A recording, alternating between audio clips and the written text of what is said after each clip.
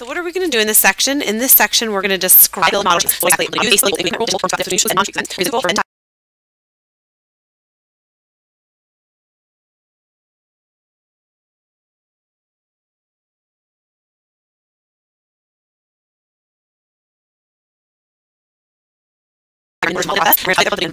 diagram and a and then a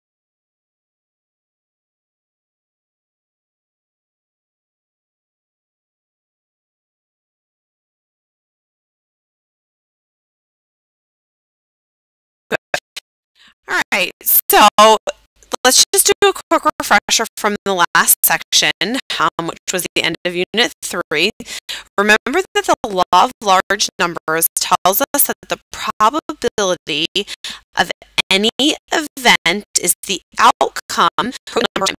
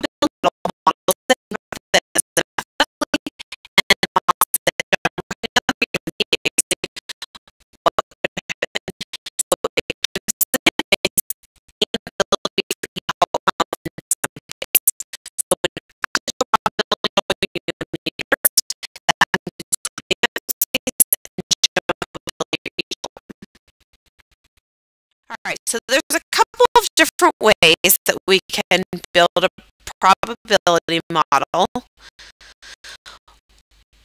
One way is to actually write out all of the possibilities. Let's just imagine we're holding two things. What is probability like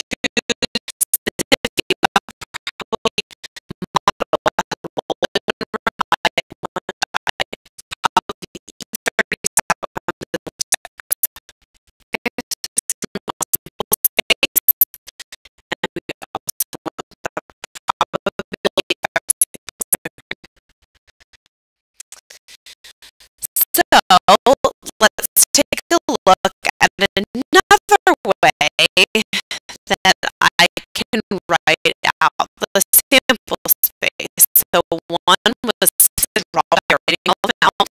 Let's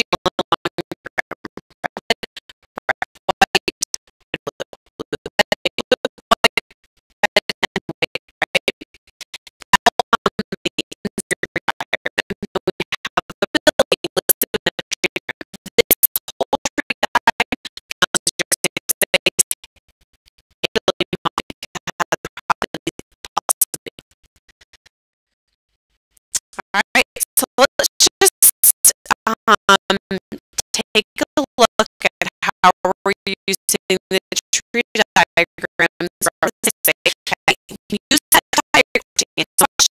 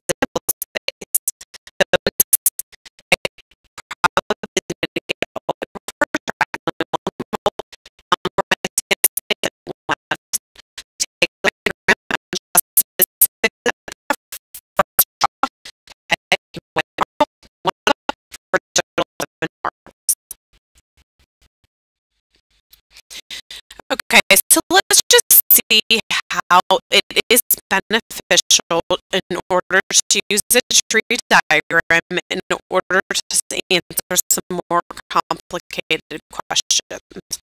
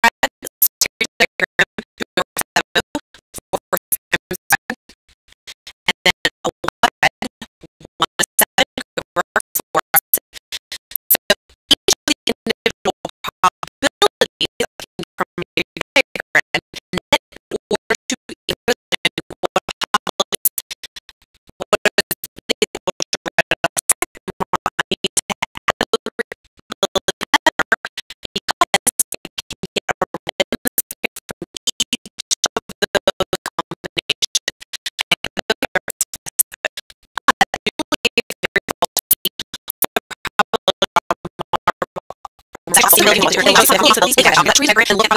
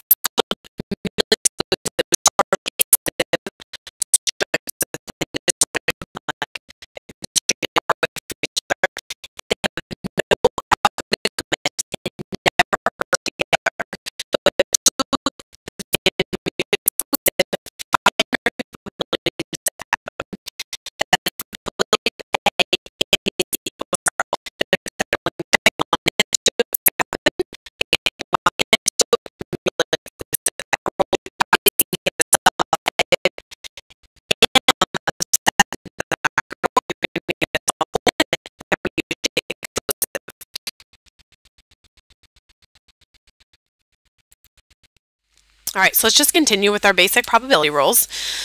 All right, so this is just another way of writing them. Uh, for any event A, the probability of A is between 0 and 1 inclusive. Remember, 0 is the event not occurring, 1 is the event definitely occurring. What's the probability that we have an earthquake? 0 is it not occurring, 1 is it is occurring if S is the sample space in a probability model, the probability of your sample space is equal to 1. So all of the probabilities in the sample space is 100% of your possibilities. Can't have 120% of your possibilities. In the case of equally likely outcomes, that just means every event in your sample space has the same probability of occurring. So when I write out the sum of all the die, that means that each of those sums have the same chance of occurring. I don't have a way to die where I have more of a chance of getting, you know, sixes instead of ones. Okay, so this is the same definition from the previous slide. The probability of A is the number of outcomes corresponding to A, so how many ways can it happen, over the total number of outcomes in your sample space. This is our complement rule, so that was what we were talking about. Probability of A, and that little C up here means the complement. So complement means not occurring. So what's the probability of not rolling a sum of 5, that would be the complement, is equal to 1 minus rolling the sum of 5. So if I would say A, okay, A is equal to the sum of 5. When I write AC, it's just like adding the word not. Okay, so not getting a sum of 5. It's basically the entire sample space. So A, the probability of A, plus the probability of its complement is equal to 1.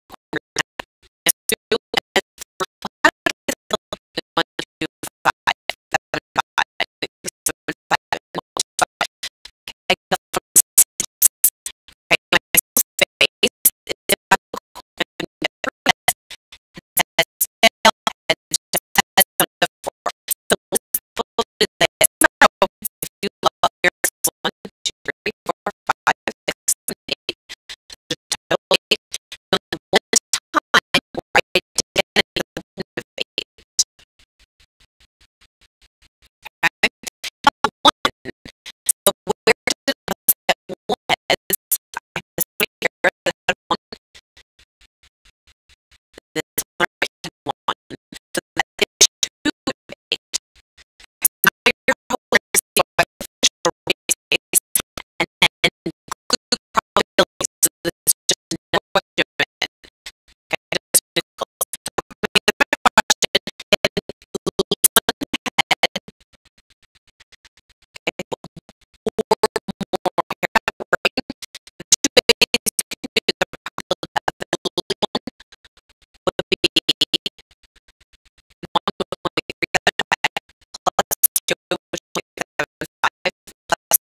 which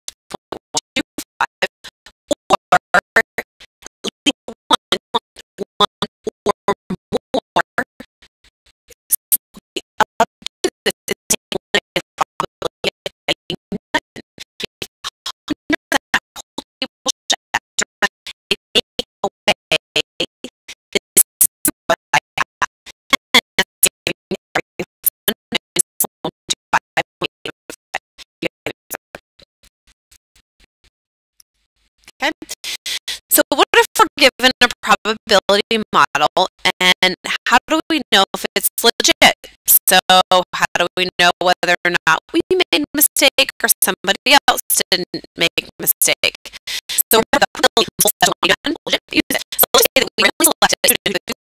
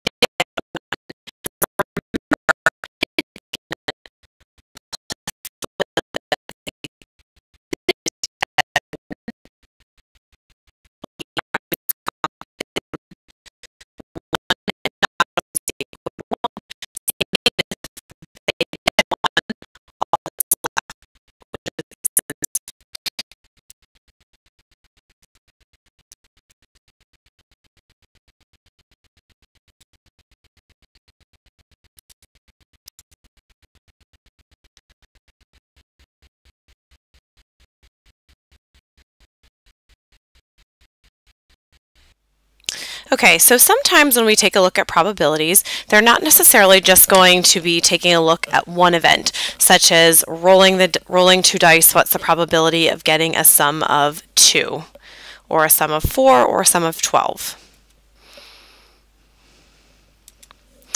So let's take a look at this example where we're taking a look at two events occurring at the same time. Suppose students in a college statistics class wanted to find out how common it was for young adults to have their ears pierced. They recorded data on two variables, gender and whether or not the students had their ears pierced for all 178 people in the class.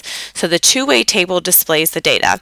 So the two things that they were looking at was one, they were looking at male versus female, and they were looking at pierced ears, yes,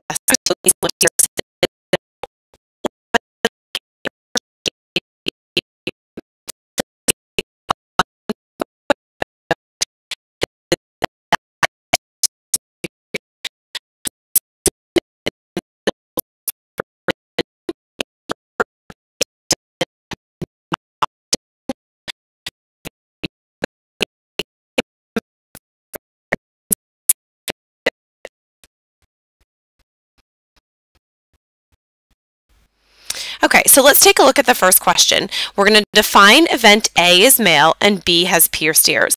That's just going to make it easier whenever we're answering our questions. Just make sure you to define A and B. Don't just write probability of A without defining it because if you don't, then the reader has no idea what you're talking about. All right, so the question is, what is the probability that somebody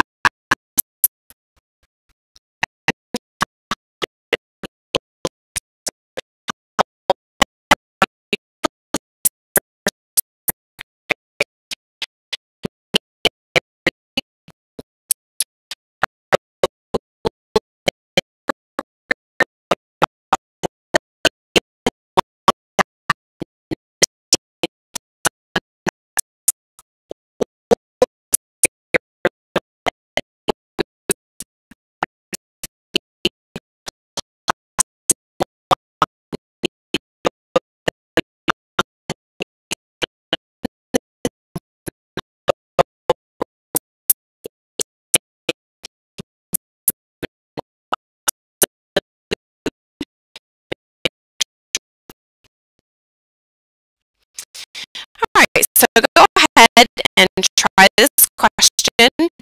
Check out on the next slide and see how you do. So what's the relationship between educational achievement and home ownership?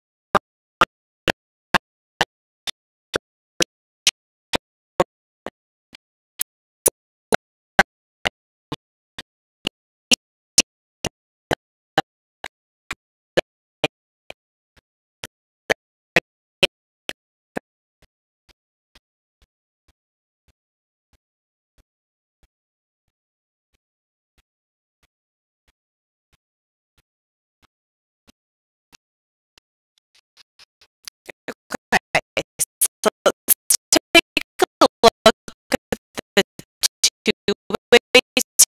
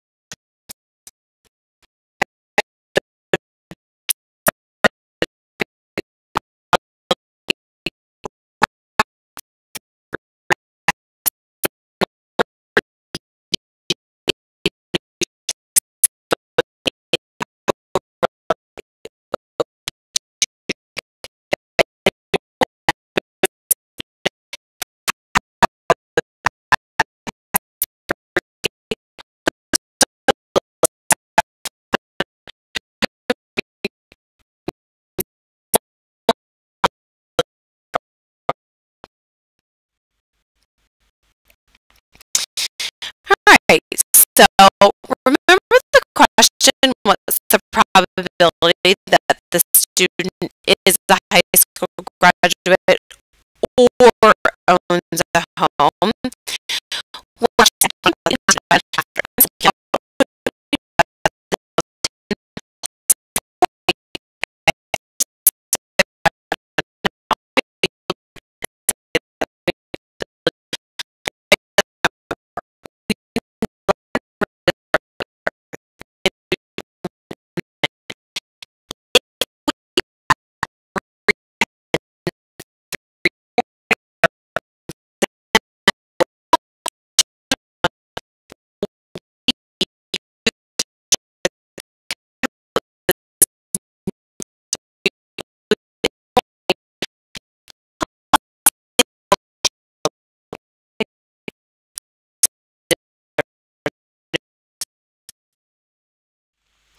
So we can't use the addition rule for mutually exclusive events unless the events have no outcomes in common. So basically, we can't use the addition rule for non-mutually exclusive events. So here's just an example of what that looks like. So if we're taking a look at our sample space, so this is event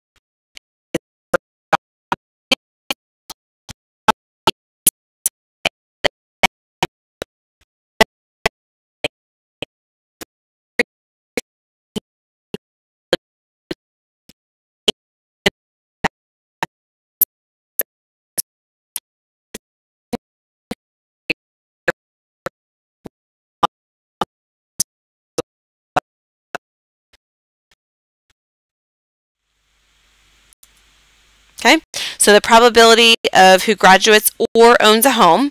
So since we know this is not mutually exclusive and I have this double overlap here, I can use my formula now. So the probability that we're a high school graduate, 310, plus own a home, 340,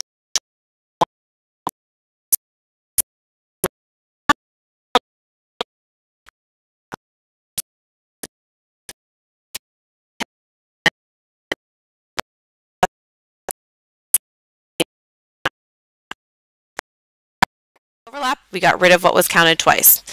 Now, because Venn diagrams have uses in other branches of mathematics, some basic vocabulary and notation has been developed for us to use. So let's use some shortcuts. All right, A, the complement of A contains exactly all the outcomes not in A. So remember, if this whole thing is our sample space, it has to add up to 1. So here's the probability of A. A sub C means the complement everybody not in A. So if this is everybody with brown hair, this is everybody without brown hair. If this is everybody with Twitter, this is everybody without Twitter.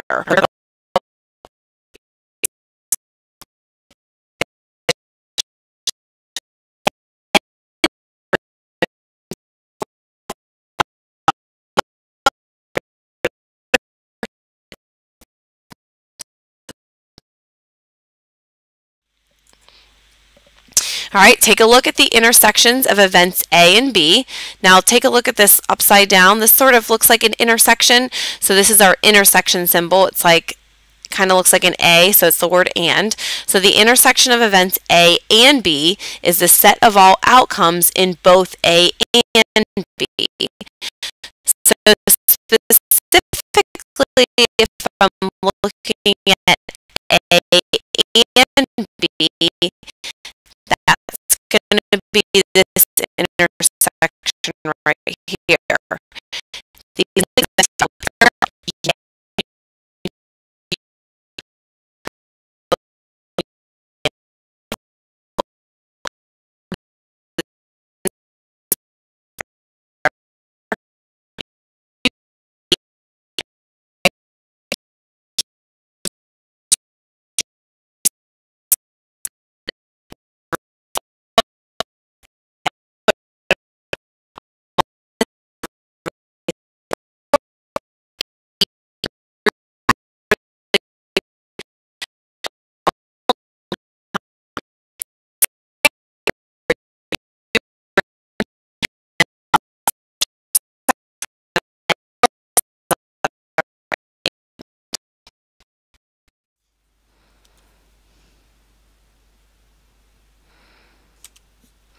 Okay, so how exactly is the AP exam formula sheet going to help you? So you just have to understand the difference between the union symbol and the intersection symbol. So make sure you understand that union means or and intersection means and. So here's the formula on the formula sheet. The probability of A union B, or remember this is mutually, and this works for mutually exclusive events also because the probability of A and B is just going to be zero. Is the probability of A plus the probability of B, and you just have to understand that this is the probability of A and B. So just know, know those two notations. Union is OR, and is intersection. Okay, so let's just take a look at our example on gender and pierced ears. How can we use a Venn diagram to display the information and determine the probabilities? So let's define A as male and B as pierced ears. So we're just looking at the first row male and the first column pierced ears. What does that Venn diagram look like? All right, so A is male. So if we look at that row of male, we know that the entire yellow circle has to add up to 90. All right, and then if we look at B is pierced ears, yes, this entire blue circle has to add up to 103. Well, why is there not 90 in just the yellow circle? What you want to do first is since there's an intersection here, you want to put that section in first. Put your and section in first. Where is male and pierced ears. That's 19. Plop that in the middle first. Then, if you take a look, this entire yellow circle should add up to the male, which is 90. So if 19 are male and they have pierced ears, what's 90 minus 19? That gives us 71. So if you, that comes from our column right here, so 71 males don't have pierced ears. The same thing happens with the blue. I know the blue is the number of pierced ears, which is 103. Well, what's male and pierced ears? There's my 19. What's left over? Okay, just the 84. Okay, so keep that in mind when you're doing your Venn diagrams. Always do this middle section first, then understand that this entire circle has to add up to your total of 103. This entire section of your total has to add up to 90. All right, so if we just wanted to take a look at some of the symbols, so male and pierced ears, so A was male, B is pierced ears, A and B, that's in our middle of 19. Inside circle A, so this is all of A, and outside circle B, Okay, so if we're taking a look at inside circle A, that would be male. So that we're saying male and outside circle B, that's everything outside circle B, that's male and no pierced ears. So everything outside of circle B is without pierced ears. So what does that add up to? There's your 71. Okay, so if they're male and no pierced ears, there's your 71 right here. Okay, and we're not looking at the 4 because the 4 has to do with the females all right, because we're saying we want it to be male and pierced ears. So A and B complement. So B complement is everything outside of B, but the reason that we're not including that 4 is because we want it to also include A. So if we're taking a look at inside circle B and outside circle A, so inside circle B is going to be pierced ears and outside circle A is going to be female. All right, so if we're looking at female and pierced ears, so what is female? That's the opposite of A, so that's A complement, and B. There's your 84. Okay, and then take a look at the last one. So outside both circles, so what's the opposite of male is female. What's the opposite of B is no pierced ears, so A complement is female and B complement is male or is no pierced ears, that's your intersection, that's your 4 right here. So that's everything outside of the two circles. Okay, so here's the two-way table that summarizes the relationship between the educational status and the home ownership from our previous example. So our events of interest were G was a high school graduate and H is a homeowner. So you already saw this table okay? Um, we already took a look at the table, so let's just take a look at the Venn diagram. Once again, always start in the middle. So we said G is high school graduate, H is your homeowner.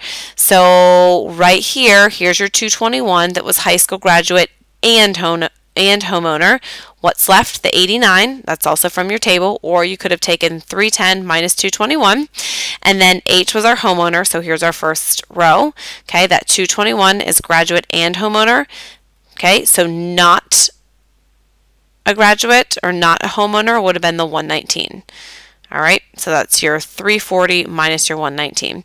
And if you just want to take a minute and look at the two or I'm sorry, look at the four symbols, understanding the complements and where they're located inside the Venn diagram, just go ahead and take a minute and study this slide.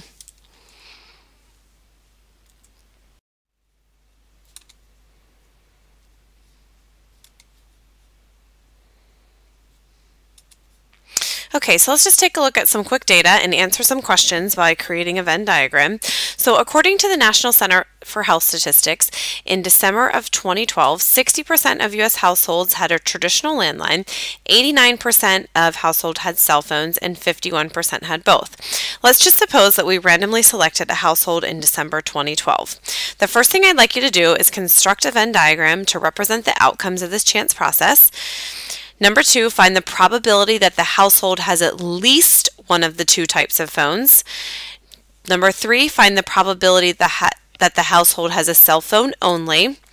And then D, find the probability that the household has neither type of phone. Okay, so just remember when you're constructing your Venn diagram that make sure you define which is which, um, landline versus cell phones. And then remember that you're always going to start with the intersection um, of where there's landline and cell phones and then work from there. Also keep in mind that your entire Venn diagram, including the outside region, region should add up to 1. So go ahead, take a second, pause this, and then we'll go over the answer. Okay, so what does that look like? Number one, what's the Venn diagram look like? Make sure you know what each region represents. Always start in the middle when making the Venn diagram. This is your AND section. Okay, remember that this entire blue section must add up to the total cell phones and this entire yellow section must add up to the total landlines. So I know that 51% own both, so that's going to go in this section right here, right in the middle. Now I know that 60% own a landline, so how did that get that 0.09? That wasn't part of that 0.09 was not part of my original question. I know this whole thing, the yellow, this plus this has to add up to the 60%. So I'm going to do the 60% minus the intersection of the 0.51 that's going to give me that 0.09. For my cell phones, I know that that whole thing has to add up to 89%. All right, so I knew the intersection was 51. So then I took the 89%, 0.89, minus the intersection of 0.51 that gave me the 0.38, okay? Now remember that the entire thing has to add up to 100%, so to get this outside portion right here, this is people that own neither cell phones nor landlines, all of these have to add up to 100 or 1. So I'm going to take 1 minus the 0.09 minus the 0.51, I'm only counting that once, minus the 0.38, and that gives me the 0.02 for everyone that has neither. Okay, so the whole Venn diagram should add up to 1, and the 0.02 represents the cell phones, the households with neither landline okay, so let's just phone. take a minute and take a look at the answers to our um, questions that we had. All right, so number one says find the probability that the households have at least one of the two types of cell phones or types of phones.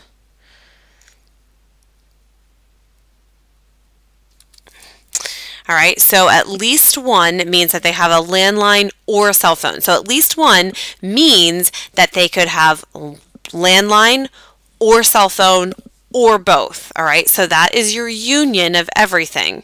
All right, so there's two ways to do this. The probability that you have at least one, and this only works when you have at least one, remember that the total probability has to add up to 1. So if you have the probability of at least 1, you can do 1 minus the probability of having none, which is this nice easy number out here, which is 0.02. So 1 minus the probability of having none is 1 minus 0.02 or 0.98. Or the union you can also add up 0.09 plus 0.51 plus 0.38. Okay, so sorry, that's two ways to do it. The third way of doing it is you could add up the probability of a landline plus the probability of a cell phone plus the probability of both minus, it should be minus the probability of both. So add up this intersection plus this minus this portion right here. So just be careful with that. So you're going to subtract the probability of both. All right, find the probability that the household has a cell phone only.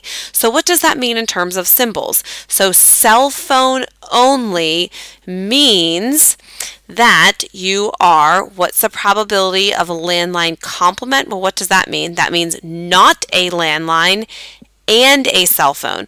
Well, look on your Venn diagram. Where do you have not a landline, so everything here, okay, that includes this intersection right here, and you just have a cell phone? Well, that's your 0.38. All right, so what's the probability that the household has neither type of phone? So that is the complement to what we talked about about in part B. So landline or cell phone, the complement of that would mean you have none. The probability of none is this portion out here, which is the 0.02. All right, so just make sure that you're writing in symbols. You can just write the All right, probability so just a few things to wanted show you remember that it looked like probability problems often involve simple calculations that you can do just on your calculator and you don't have to show any work. So please don't be tempted just to write down the answer. If you write down a naked answer, that's one that has no work, no probability statement, you will not get credit on the free response portion of the exam or on your homework or your tests and quizzes.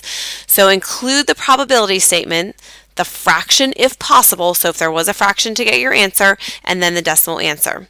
So the next question is, how do I know whether to use a Venn diagram versus a two-way table? Venn diagrams actually work best with percentages, such as the landline versus cell phone problem, especially when they're not mutually exclusive, all right? So especially when there's that intersection point, and two-way tables often work best when you have counts. So I would use two-way tables for counts, make sure you find the total, Venn diagrams for percentages. All right, so in this section, we described a probability model. Make sure that you show the sample space and the probability. We took a look at basic probability rules, including the complement rule. We used a two-way table or a Venn diagram to model the chance process and calculate the probabilities involved. And then we just took a look at the general rule for calculating probabilities.